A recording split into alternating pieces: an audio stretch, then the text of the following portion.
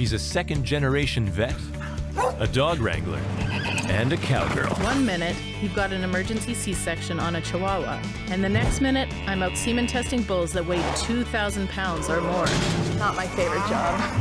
Meet Dr. Keri, a prairie vet on wheels. I literally have my phone with me 24 hours a day, every single day of my life.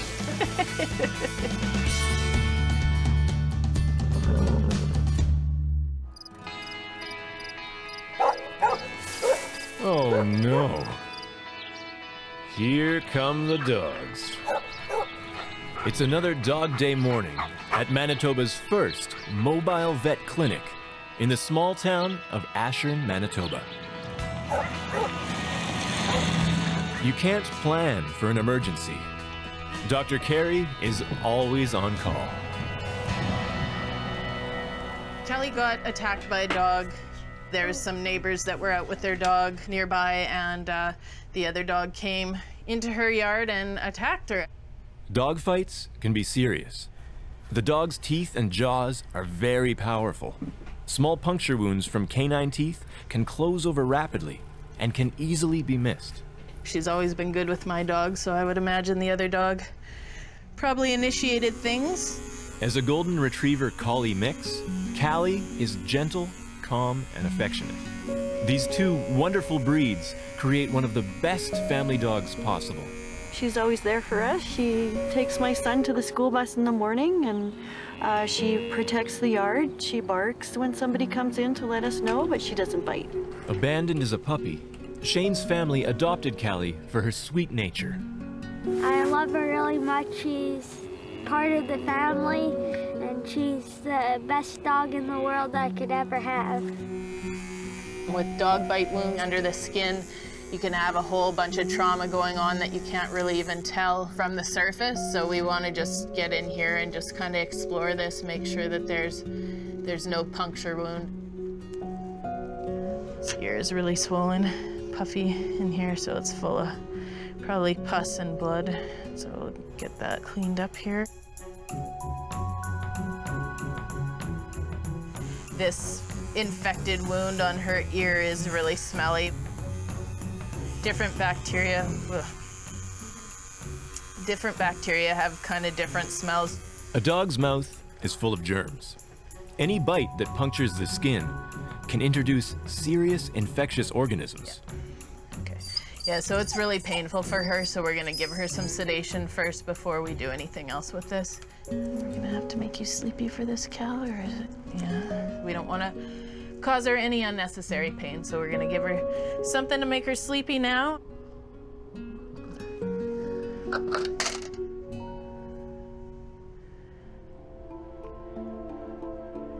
Oh, gross. So we're just gonna get it drained out good, cleaned up, flushed out, and and then on to antibiotics. Why there's that little pinhole there this. I guess maybe the tooth just came all the way through and And we don't stitch these closed afterwards. We leave them open because this is an infected wound. If we stitch this closed, it will just trap that infection inside. Using a syringe, Dr. Keri thoroughly flushes out the abscess. You're just gonna have to watch in this location. It's a lot of cartilage, so it can be tough for antibiotics to get in there and to penetrate properly. Dog bites that appear to be minor on the surface can be deceptive and even life-threatening. We're worried. She's our family dog. We love her and we just want the best for her. You ready to wake up? We don't want her to suffer. There, you can keep JD. Callie is placed under observation until she's safely recovered. No, you're, you're sore.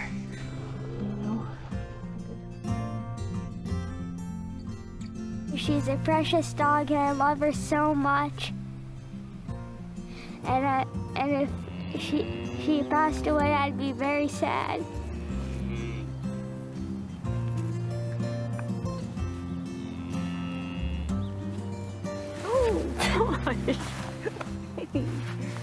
It's okay.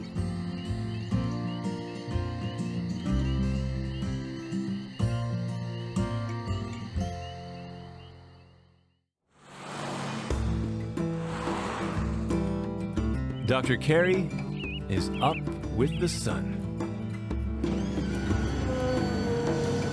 Prepping her mobile clinic for the long day ahead. This morning we are off bright and early to the Assiniboine Kennel Club's dog show just south of Winnipeg. As the crow flies, Winnipeg is two hours due south of Ashern. We've started doing a lot of work for the dog shows throughout Manitoba. Dr. Keri's clinic brings an essential service to the dog show, providing affordable x-rays, shots, ultrasounds, and checkups. Her service is priceless, with an insider's knowledge of how good breeding and healthy dogs are what's needed in the show ring. Seven groups of dogs are defined by the Canadian Kennel Club. Sporting, non-sporting, herding, working, hounds, terriers, and toys. Today, they will not only be shown, but tested on obedience as well. My name is Diane Fast. I'm the show secretary for Assiniboine Kennel Club. Right now we're having an, an all-breed show. In the dog show itself, we have dogs from across Canada, down in the States, who've all come to our little town on the prairies for a dog show. The judges at dog shows set out to pick the dogs that best meet the standards set out by the Canadian Kennel Club. Dog that does well in the show ring and has passed its health test is a strong candidate for breeding. Good news for its owner. I think Dr. Keri promotes the fact that good breeding and good healthy dogs is what we need in the show ring and what everybody should strive for. There's a lot of people who come to the dog show with uh, an entire litter or litter mates that have the opportunity to get tested for hips, for heart, for eyes, getting their re regular vaccinations, which are incredibly important, all part and parcel of breeding good dogs. Dr. Keri is incredible because not only does she come to us here at the shows, she puts the animals first. It doesn't matter if it's a $10,000 show dog or a piglet or, you know, a, a, a newborn baby calf. She cares. She offers such an amazing community service to us as show people by not charging us what you would pay at a regular vet clinic. She's tailored those services to us. This dog show is an important show for dog breeders. There's uh, handlers from all over Canada and the US that are here today. Tango, would you like to say hi? You have to wake up and say hi. He's having his spa treatment right now. All sorts of breeds make it out to these shows. From fluffy and puffy to stout and elegant to downright adorable. All the top dogs line up to compete. This all-breed dog show is the third largest in Manitoba and prides itself on the specially qualified judges, making this a breeder's showcase. For us, what we do at these dog shows is a bunch of different work for breeders. Um, we try to make it cost effective for them. Dr. Keri's Hospital on Wheels is a game changer, bringing her specialized vet services directly to her clients, saving them time and money. My name is Emily Lenahan, and I'm here to show um, two German Shepherds that I bred. Dr. Keri is amazing. She is a breeder herself and shows her own dogs. They're herding dogs, so I really feel confident in bringing my herding dogs to her. For someone like myself who keeps more than your average amount of animals, her breeder pricing is uh, helpful. This is Primrose. This is Buzz. Sophie. This is Suki. Savannah. I just think it's important for us to support them best that we can. We can't do all the testing. We're not specialists, but the stuff that we can do, we, we try to make it affordable for them. Before breeding, owners get Dr. Keri to test for undesirable traits in their dogs, such as bad hips and elbows. After all, they wouldn't want to pass down these problems to their puppies. She needs to lose some teeth. This is how their breed stays strong. Reduces the risks. It's easier on the animals. It gives you that opportunity a lot of vets don't offer. She looks at each case individually, and that's just really important to me. I try really hard to encourage them to do what's best for their pet, but financially, that's not always possible for some people.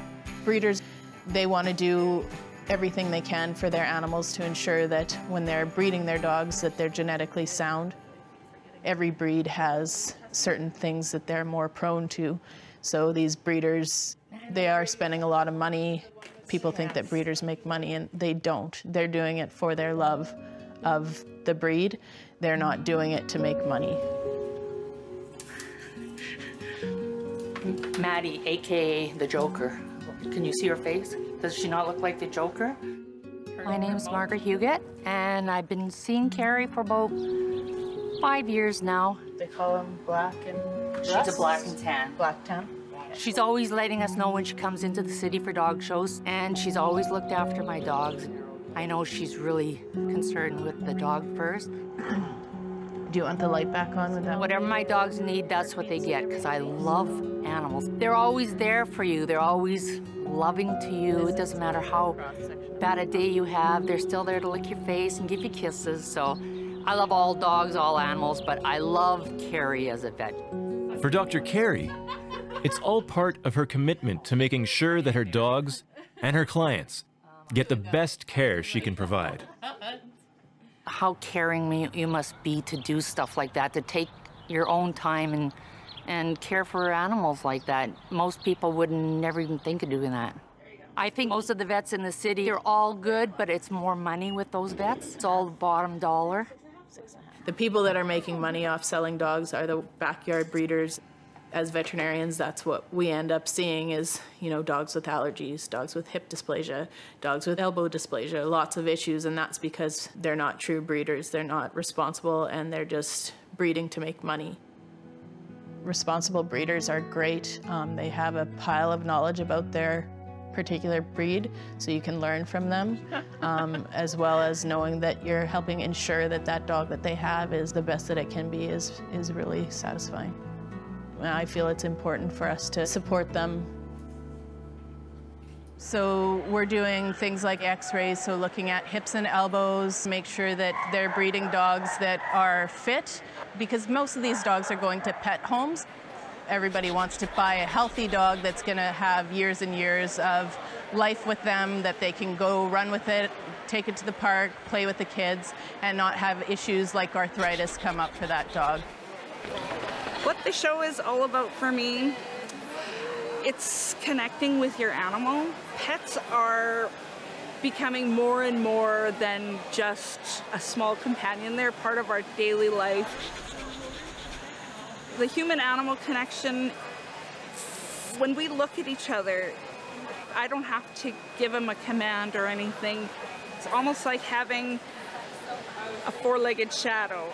That connection is unbreakable. It's the heart of the dog show. And time to check in with her clients. They get to not only go in group group, but puppy group too, hey? So Yeah, Sweet. it's a big day for whoever wins the breeds. It's a really long day. Before the show ends, Dr. Keri arranges to see her favorite Malamute breeder in the province. In total, eight canine checkups are on the books, and one dog faces serious surgery.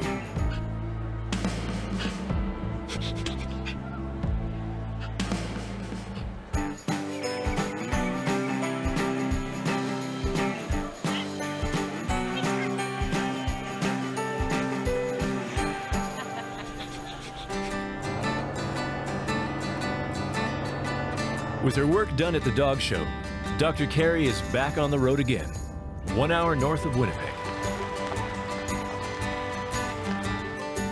Malamutes are one of the purest breeds on the planet and have the longest ties to man. It is thought that these powerful sled dogs have been on the planet for around 20,000 years. These clever canines are still going strong. This afternoon we're at Gayleen Robertson's. She's a Malamute breeder. Um, so this is Camp Winter Chill. It's a really nice location in Balmoral, Manitoba. Hey you, how's it going? Welcome. Welcome. Today we've got a couple dogs that are needing a little bit of surgery. One dog that's got a tumor on its eyelid. So we're gonna do a little wedge resection on that today. I have owned Malamutes for about 34 years. Um, the day I first saw my very first Malamute is when I said, I am going to have one of those. Well, some people have children, and I have dogs. Sloan here. Here. They're part of your family. You raise them and train them, um, but we love to show them as well. Every summer, Jenna, a student of veterinary medicine, oh, joins the team as an intern. My name is Jenna, and I am Dr. Keri's mini-me. I get to be her shadow, following her wherever she goes and learning everything that she does. This is my fifth summer with her now, and absolutely love it. She has let me do more than what I thought that I would be allowed to do. Each summer, I kind of get to learn a new skill, and one of my favorite things about working with Keri is that she really challenges me to learn more. McGraw is one big male Malamute. I had number one, and then he. Dr. Keri's trusty team prep McGraw for surgery.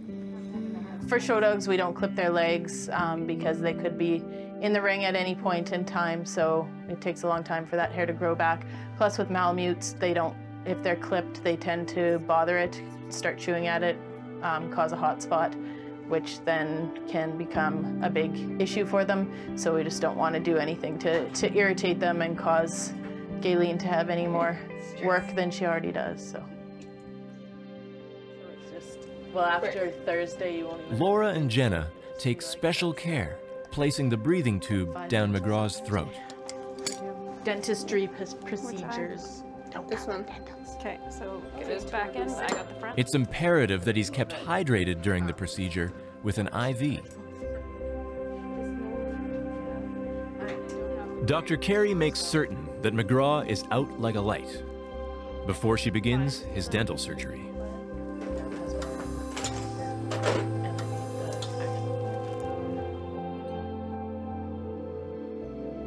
Really important with these um, fractured teeth to get them removed.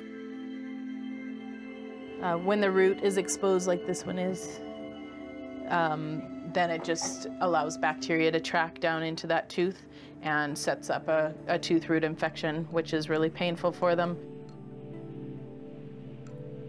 Dental health is vital for all dogs. Poor oral care can lead to serious health problems.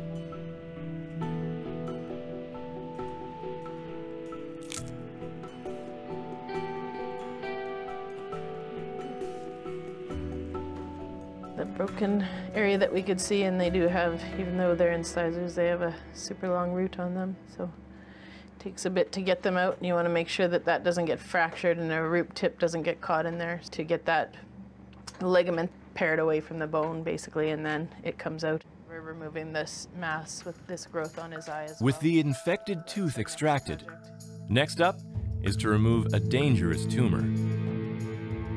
when they have uh, masses like this on the eye, just can rub on the eye and cause a ulcer, so a scratch on the eye. And if not treated, tumors like this can lead to blindness.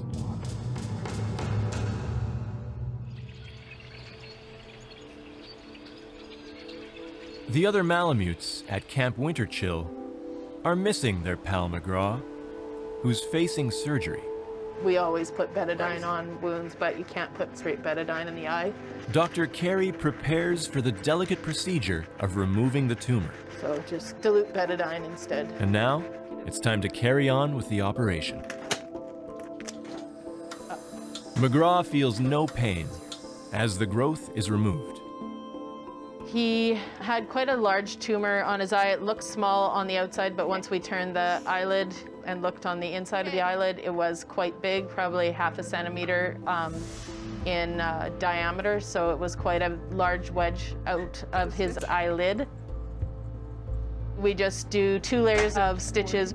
We do one in the sub-Q layer and then one on the outside.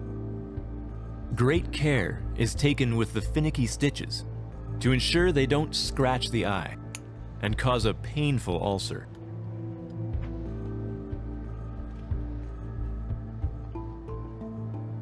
With the surgery and the stitches safely in hand, Dr. Keri cleans up McGraw. Medication will keep inflammation and pain down to an absolute minimum. He's all set. We're just going to wake him up here right away, and then he will get to spend some time in the house.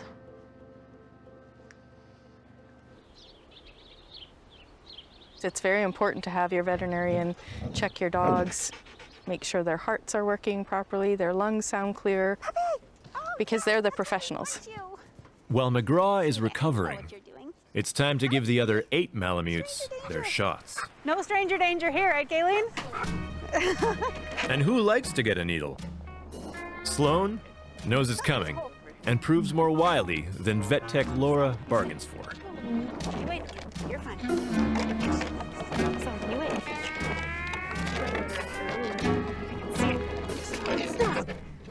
So, wait. Wait. Around the eye. Uh, this is okay. Yep. Stop, crazy kid.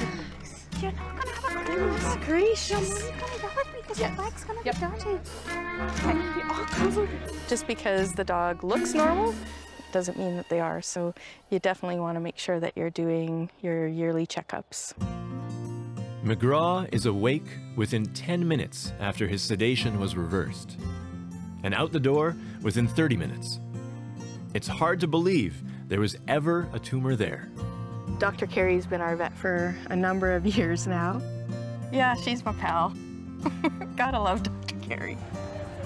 You can always know that if you send her a message, she's just gonna get back to you right away. That's who she is.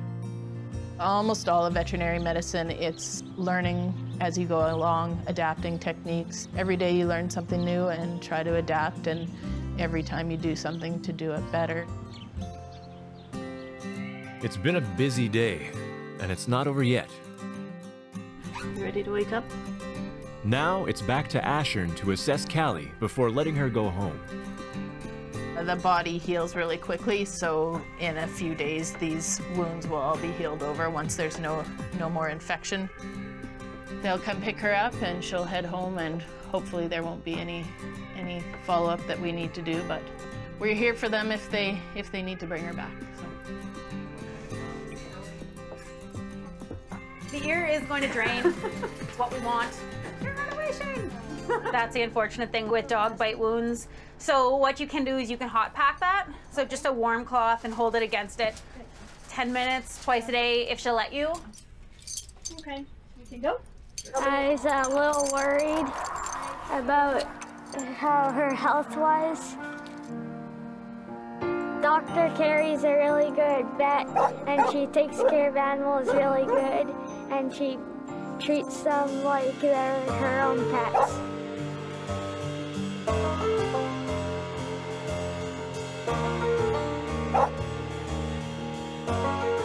Dr. Keri inspired me so much that I want to be a vet.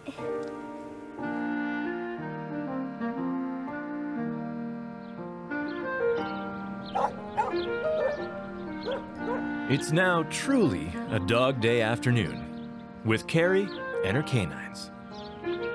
These are my three dogs. So Pep is the oldest. She's a black tri. Um, they are all Australian Shepherds. Pep's full brother is Siri's dad, so Pep would be Siri's aunt. And then Siri is Two-Bit's mother. Oh my gosh, you guys are bad. Intelligent, hardworking, and versatile, the Aussie is a fun loving dog who thrives when their brains and energy are put to good use.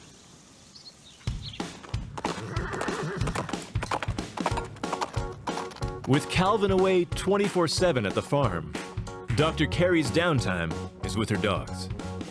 And of course, her horse Elvis.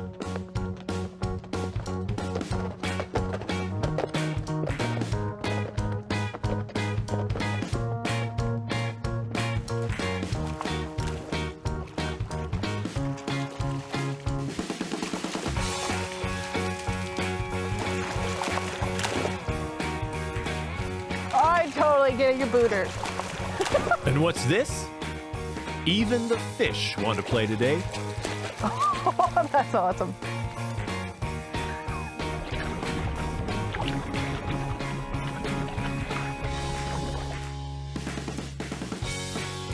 Come on, Elvis. Let's call it a day.